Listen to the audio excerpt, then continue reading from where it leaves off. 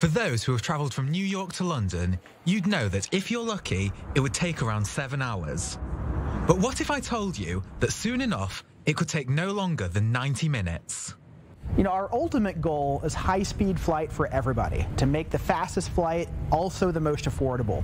And so that's what we're going to see happen here. Supersonic flight is going to displace subsonic flight as the best way for everyone to travel over long distances. This is the Boom Overture, it's a passenger flight craft that's due to be available for public use in 2029, and it has the potential to go at 1.7 Mach.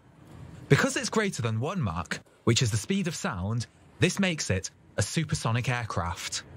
But as impressive as this may be, it has some very strong and even faster competition. Ladies and gentlemen, meet Quarter Horse. This is the Hermeus Quarter Horse, created by Atlanta-based startup Hermeus, which could be the fastest passenger aircraft ever.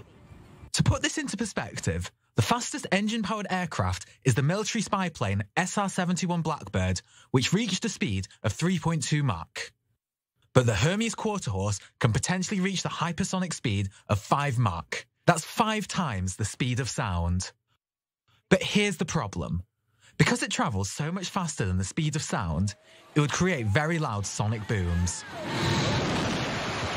So loud that it will be near impossible to have it fly over land, which rules out coast-to-coast flights. And that's not the only thing that needs considering. There are several challenges with high-speed flight. Uh, propulsion, you need an engine that can turn on and then stay on at these speeds. It's very difficult to do. Uh, you could think about controls. So you got to make sure these vehicles are pointed in the right direction. And you could think about materials. So you need materials to withstand the heat and lift and drag and the vibrations of these, these sorts of things. The record for a commercial flight is just over 2 Mach by the Concorde, which travelled regularly from New York to London until its retirement in 2003. At the moment, the quarter horse is too small to carry people, so it's remote controlled. But if the engine gets scaled up to the size of a passenger plane, as Hermeus is planning, it could change the landscape of commercial air travel forever.